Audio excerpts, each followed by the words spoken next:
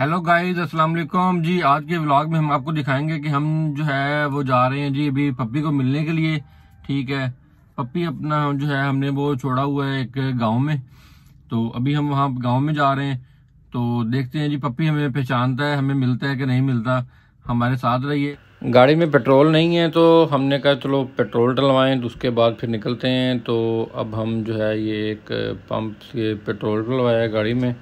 तो अब हमारा सफ़र जो है वो शुरू हो गया है। अब हम जा रहे हैं। गाड़ी की ट्राई भी हो जाएगी क्योंकि हमने गाड़ी का कुछ काम करवाया था। तो वो भी चेक नहीं की थी, वो भी चेक हो जाएगी और साथ जो है एक टूर भी हो जाएगा। एक छोटा सा व्लॉग बन जाएगा जिसमें हमने आपको ये दिखाना है कि पपी जो है हमारा वो कैसा है। और पपी की स्टोरी ये है कि पपी जो है वो तकरीबन तीन महीने का था जब हमने पपी को लिया था। किसी से गिफ्ट आया था तो उसके बाद फिर हमने पपी को जो है वो अपने पास रखा, अपने घर में। और पपी जो है वो माशाल्लाह बड़ा ज़बरदस्त हमारे साथ उसका जो है वो टाइम जो गुज़रा है वो बड़ा ज़बरदस्त गुज़रा है। तो उसके बाद फिर पपी जो है वो गर्मी की वजह से जो है वो पपी जो है हमें कुछ छोड़ा थे गाँव में। तो अब देखते हैं कि पपी को अक्सर मैं मिलने के लिए जाता हूँ तो पपी का अच्छा रिस्पॉन्स होता है, लेकिन ये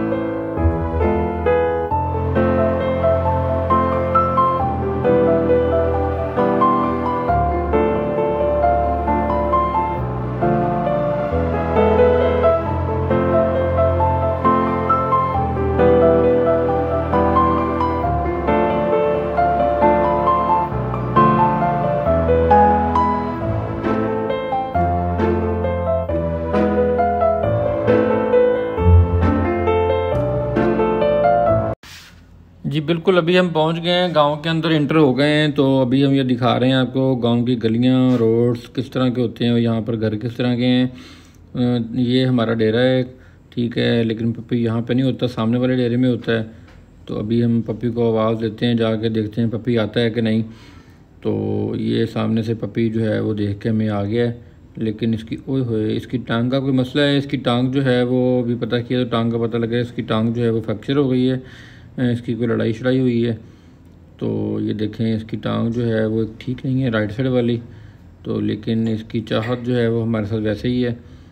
ठीक है, ये देख लें आपके सामने है तो इसका भी जो है इलाज वो भी चल रहा है, कल से शुरू हो गया है तो आज दूसरा दिन है इसके, अपना मेडिसिन वगैरह इसकी चल रही है तो चार पाँच दिन में ये बिल्कुल ठीक हो जाएगा तो कुछ ज़्यादा इतना मसला नहीं है। लेकिन कोई चोट लगी है इसको, जिसकी वजह से जो है ये राइट साइड वाली इसकी जो टांग है वो काफ़ी ज़ख्मी है। तो इसकी देख लें आप, हमारे साथ ये बेबी बैठा हुआ है। ये वाली जो इसकी टांग है, इसके ऊपर चोट लगी है। तो आपको नेक्स्ट वीडियो में जो है वो उसका जो है कंप्लीट ब्लॉग भी दिखाएँगे पप्पी का।